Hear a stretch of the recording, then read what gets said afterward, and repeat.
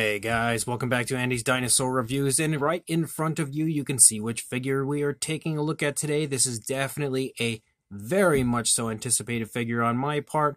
We have the brand new PNSO Iguanodon. We have a few really good Iguanodon figures out there currently, but I don't think I've ever seen one that can compete or compare to what I see here on this Iguanodon. And it's very strange that you don't see all that many, honestly. Like, there were you know, some like really good older ones a ways back. But then as time went on, it seems like Iguanodon kind of fell off of the radar. And I absolutely have no idea why, because it's one of the most beautiful species of dinosaur that you will ever see. And it seems as though lately, over the last few years, it's kind of been making a comeback, which I definitely have been enjoying. And finally, PNSO has gone ahead and taken a chance at a fantastic looking version of the Iguanodon, and I cannot wait to get this out of the box and take a look at it. But as far as the actual box art goes, you can see here on the front, it is nothing more than just a straight up image of the Iguanodon. No gimmicks needed, we don't need anything other than just an image showing off how beautiful the figure is. And up here on the side, if I can get it over, it's upside down currently, but you can see, actually we'll flip it around. But you can see that we have, again, PNSO Dinosaur Museum, Harvey, the Iguanodon, 135th, Scientific Art Model. And then as we move along the side, you can see, again, Dream and Vision for Children. Same deal back here on the other side. And then some information on PNSO over here on this side.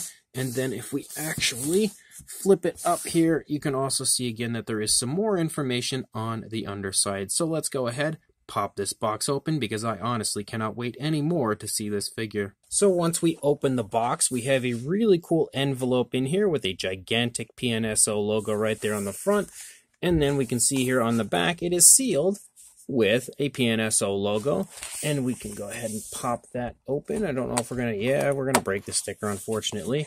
But as we open this up, wow, there is a ton of stuff in here. Just like with the Mamenchisaurus release, we have a mountain of stuff included with this Iguanodon release.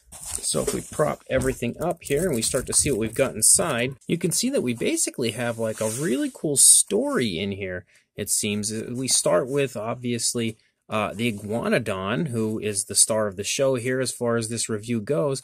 But as you go through, you have like the discovery of so many different dinosaurs and information about it. Like so much going on here throughout the course of this little uh, I guess it's like a not even really a book or anything like that. It's just a bunch of little paper cards, but that's really really neat. Something we're definitely not going to go through entirely, but something that would be an absolutely awesome read. I'm very much so looking forward to reading this when the review is over, but something that I definitely feel like uh, it's a really cool addition to this set and certainly something that is going to be fun for anybody that purchases this set can go ahead and check that out. And then we have a really nice booklet here. I'm very intrigued to see what we've got going on in here. So as we open it, we see some information on PNSO, and then we have uh, some descriptions apparently right here on this page. And then the next page sports a beautiful image of the Iguanodon. Look at how beautiful that is. Really nice artwork. And then as we go through, I don't know if I skipped a page. No, no, I don't think I did. So we start to have some information again on PNSO. And then as we go to the next page, some more information, some more information, some more information, lots and lots of stuff again to read. Purchasing one of these museum sets from PNSO really just gives you so much with your order. Like you don't just get an awesome dinosaur model, you get hours of entertainment from these sets. And you can see here on the inside, we have another really nice image of the head sculpt actually of our iguanodon that we have here to take a look at today, or at least I believe that's who that is. Then we've got some really nice images of the iguanodon, again, showing off just how beautiful this model is. I really love the paint scheme that they had come up with for this one. Really nice, natural looking paint scheme. Some more images here again of our gorgeous looking Iguanodon, Harvey. And then some more images yet again. So this is basically like a beautiful photo gallery of the figure we are about to take a look at. And uh, just continuing to hype us up for the figure. I don't know if that's the case throughout the entire booklet. Yeah, it seems like that's probably it. So, oh no, we actually have some more images back here and then an image here showing off lots of really nice PNSO artwork. So definitely a fun booklet that I'm certainly going to dive into a little more thoroughly when I'm done the review. But again, something that would be a fun addition if you order this set. Oh, so we have some more of those blank canvases. I like when they do this. It gives you some blank canvases so you can go ahead and draw yourself some dinosaurs. I don't know how many we have here. Actually, quite a bit. So we have a whole bunch of these blank canvases. Are these ones blank? Oh, no, these ones are not. Okay, so we've got something different in here. All right, so now I've got to separate the two. So now Oh, okay. So with this one, what we have here is basically a gigantic image of the leg sculpt here of the iguanodon and showing off the thumb bone right there, the fossil of the thumb claw that you can see actually is circled right there. I wonder what the rest of this is going to be. So I went ahead and propped the camera up a bit higher so we can get a better view of this, but you can see the next image here has a really nice Megalosaurus, and it also says Discovery of Megalosaurus. So this kind of actually goes with those little cards that sort of told a story, so I'm thinking that might be how this is going to go. Oh yeah, definitely. So then here it says that we have the discovery of the Archaeopteryx. So I'm certain that these are going to all be discoveries of different dinosaurs because that seems to be how all of those cards went here. We've got another again, an Edmontosaurus. That is really, really nice. That is absolutely gorgeous looking. I would love it if PNSO would create an Edmontosaurus and then release it with that type of a uh, color scheme. That would be really cool. And then as we go through here, again, we're going to continue to have probably tons and tons of dinosaurs. Again, a really nice image of an Oviraptor. And they are definitely at this point proving to me that these are falling in with the discovery of different dinosaurs. Uh, cards that we were just looking at a moment ago. And the good thing about this is we get to continue to see incredible artwork from PNSO, which is always awesome. A nice Eoraptor right there. That is really nice, man. PNSO's artwork is just some of the best I think that you'll ever see anywhere. And then we've got even more. And uh, this time we have the Sinosauropteryx, so that's pretty cool. Looks just like the PNSO figure of the species. And then we keep going here. We've got ourselves the Microraptor, which is also, again, the Microraptor released by PNSO. So maybe these are actually kind of teases for some potential upcoming figures from PNSO, which is an interesting thing to think about. This one, again, we've got ourselves the Borealopelta, which uh, already is a figure from PNSO. Some more gorgeous artwork right there. And then we've got what appears to be even larger versions. So let's see what we've got in here. Oh, look at this. It's super cool. Actually, I'm going to have to just put that up there and then take a look at it from a little bit further back. So we've got a really cool kind of a large poster of the iguanodon right there. And then look at that one. Look at that beautiful, beautiful artwork. This is definitely the type of artwork that should be framed and displayed proudly on the wall of my collection and I most certainly will be framing that one at some point. That is incredible. looks just like the figure as well as far as the color scheme. Sometimes PNSO releases like artwork with different color schemes other than what you get on your figure, but that matched quite nicely. Then we've got ourselves a really cool kind of a size comparison type of a chart right here, showing off quite a few different dinosaurs and species of other animals, as well as a man up there. And then we've also got another chart here with some stegosaurs. So look at that. That's so cool how we have like the vintage versions of stegosaurs, like going all the way back to the beginning and then going through time here to see how stegosaurus has evolved Wow, that's so nice. That is another poster that I would love to actually put up on my wall, and I most certainly will. I would love it if PNSO would release posters of every dinosaur that they create in this similar style, where we kind of see the evolution of the dinosaur throughout the years. That is probably one of my favorite posters I think I've ever seen from PNSO. Oh, here we go. There's another really cool one in here. Wow, look at that. So this time we've got the discovery of the Tyrannosaurus rex, and look at this really nice, what appears to be a juvenile rex here. Nice fully feathered juvenile rex, as well as Aaron, the baby down here. Again, another frame-worthy poster. And then this time we've just got, in general, a gigantic poster of a rex, which is also just absolutely drop dead gorgeous. Wow, this stuff is just, it's honestly almost so beautiful, I don't have words. That is incredible yet again. To say these posters are breathtaking would be an understatement. Oh, look at this. We've got another one of these posters. So that's super awesome and actually really intriguing. Something that I'm picking up on right now that I'm quite curious about. But we can see the evolution of the Spinosaurus here as well. But one thing that's really interesting to me is this figure down here looks so much like the PNSO figure they had released quite a ways back, but a little bit different. I wonder if that is another PNSO figure that we will either get at some point, or maybe it was like a prototype of one of the Spinosaurus or something at some point. But that is another super awesome poster right there with the evolution of the Spinosaurus. And then we've also got ourselves another poster. Ooh, look at that. It's the Tsintaosaurus, and that is really nice. Look at the coloration on that crest. Man, these are some of the coolest posters I've ever seen. This, just like with the Mamenchisaurus, is overloaded with awesomeness when it comes to these editions that you get. And then we've got ourselves yet another beautiful poster, this time of a Yutyrannus, actually a few Yutyrannus. Here, really cool looking color scheme that they had given that one. Kind of wish the Yutyrannus that they had released had a paint scheme similar to that. We've also got some Pterosaurs, which might be the most colorful Pterosaurs I've ever seen. And then the final one that we have here to seal the deal is a Patagotitan. And look at that again. Really beautiful. I wish they'd just stay open when I set them here, just so I can kind of pan back here and show you how beautiful they are. Well, we can kind of get an idea of how beautiful it is, but trust me, it is fantastic, as anything artwork-wise from PNSO always is. So on top of our beautiful figure, you just get a mountain of extras here from PNSO. And then we have our main event, which is Harvey the Iguanodon. And wow, what a looker this figure is. Definitely one of my new favorite PNSO figures.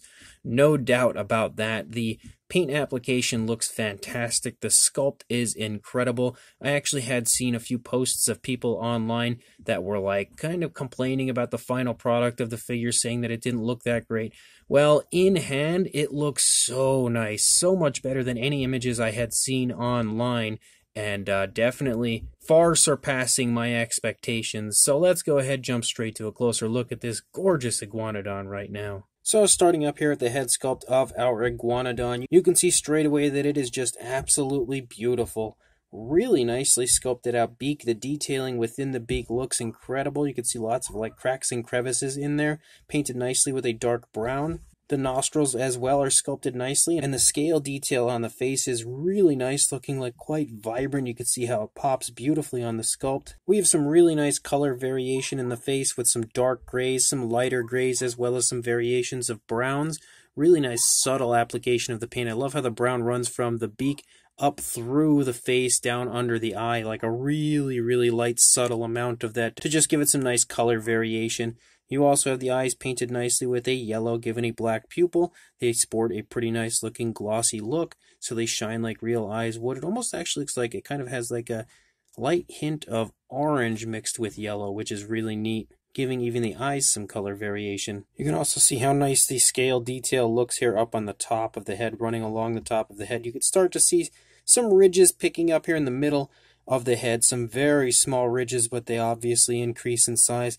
The further down the body you go, you have some nice skin wrinkles here, even in the throat showing off the slight turn in the head of the iguanodon. You can see a little bit of a turn right there. And that movement is shown off quite nicely. Again, you have some nice creasing and wrinkling right there in the neck region. As you move down the course of the neck, you can generally see like some nice structure and some musculature in the neck.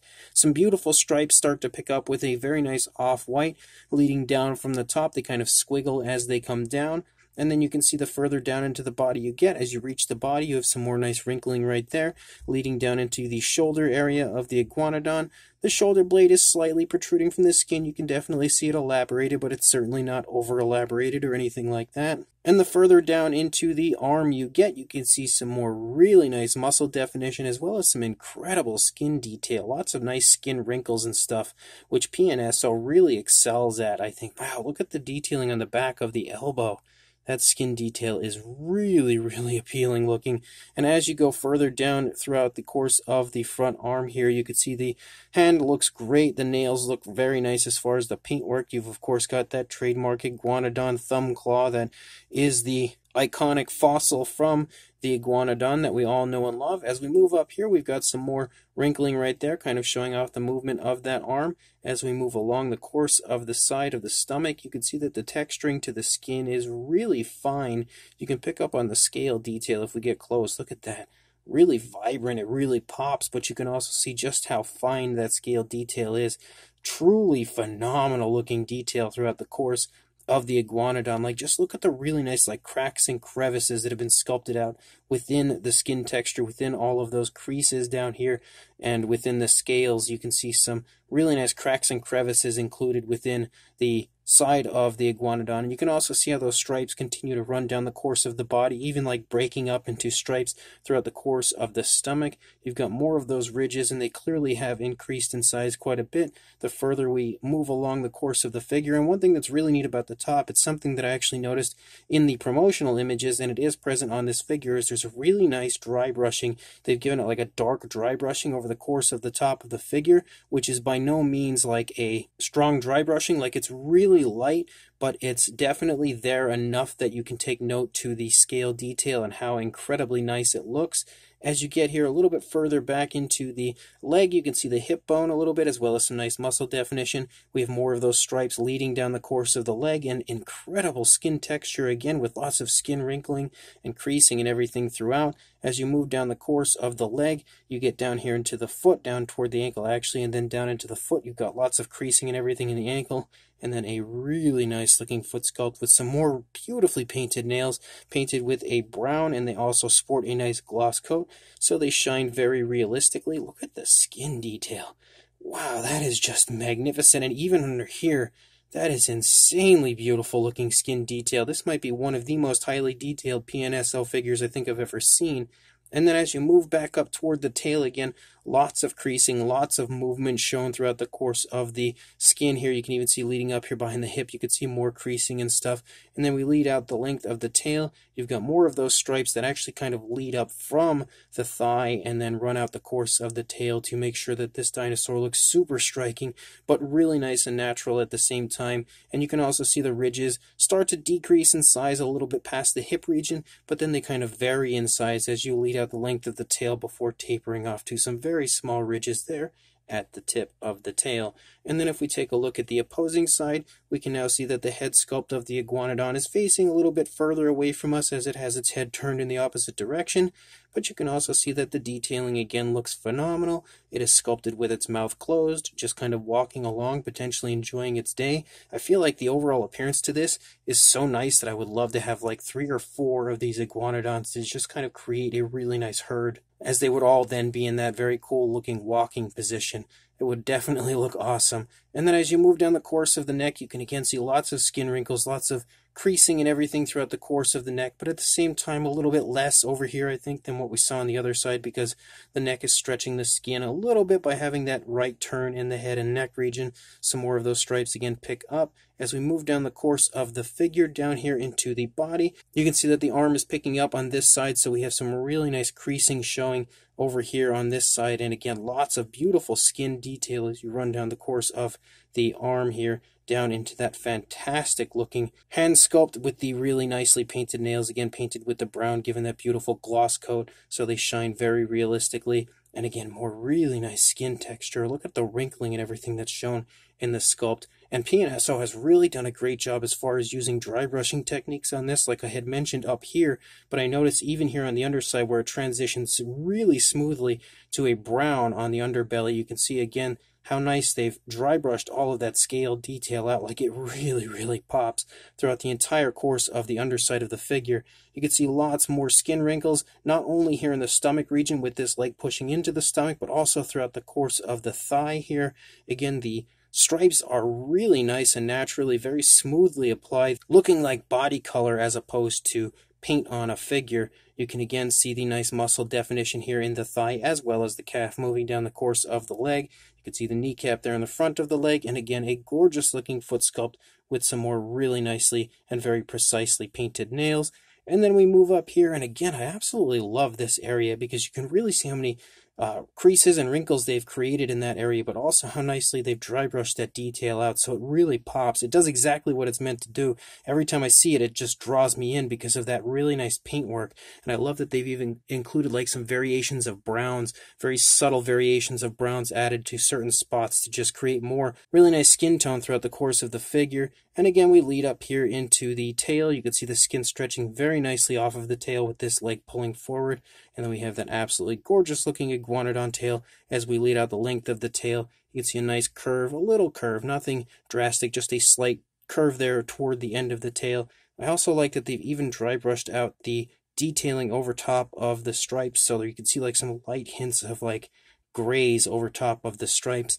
And then the underside again looks incredible. Look at how nice that detail is brought out. And there's many different tones of colors. As we have like browns and off whites as well as variations of grays here throughout the underside. You've got the cloaca sculpted out there, and I don't know that I've ever seen a more realistic looking cloaca on a dinosaur model. And you can see as we run through the course of the figure, the detailing is honestly as jaw dropping as it gets. So, this is easily the best iguanodon I have in my collection, and definitely one of my favorite PNSO figures, I think, of all time. As far as a size goes for our iguanodon for a length, you're looking at about 11 inches pretty much on the dot or about 28 centimeters and then for a height to the top of the head about 3.5 inches or 9 centimeters. For a size comparison, there is Mr. Papo T-Rex, the Attack Pack Dilophosaurus, and Robert Muldoon from the Mattel Jurassic World toy line in comparison to our PNSO Iguanodon, showing you that the figure definitely sports a pretty good size, pretty impressive size overall.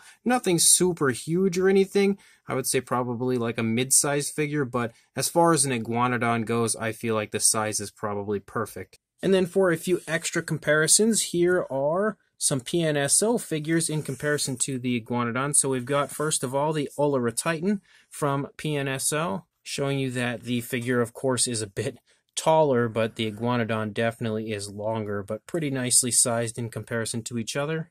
We've also got one here that's going to definitely outsize the Iguanodon quite drastically, which would be the newer Mamenchisaurus from PNSO here. You could see how that one sizes up next to the Iguanodon. Also, you know, pretty good size in comparison to each other, but obviously in no way, shape, or form are they to scale with each other. As far as another one goes, we've got the Nanotyrannus. If it can stand here for me for a moment, because I just threw it in here kind of abruptly. So there's the Nanotyrannus in comparison to our Iguanodon, showing you again roughly what the size there would be. We also have, and I probably should turn the Iguanodon around for this one, but we've got Wilson now in comparison to the Iguanodon, giving you a good idea of how those two size up in comparison to each other. Wilson definitely looks like he's pretty much right at the perfect height to take that Iguanodon down by its neck right there. And then we should probably turn the figure around again for this comparison, but we also have the Carcharodontosaurus from PNSO in comparison to the Iguanodon, looking like he's about to give him a nice little kiss right there on his beak. But hopefully these figures now in comparison will help to show you the size. And then for one other comparison that I'm very intrigued to see here in comparison to the PNSO Iguanodon, actually I will just turn it like this, I think.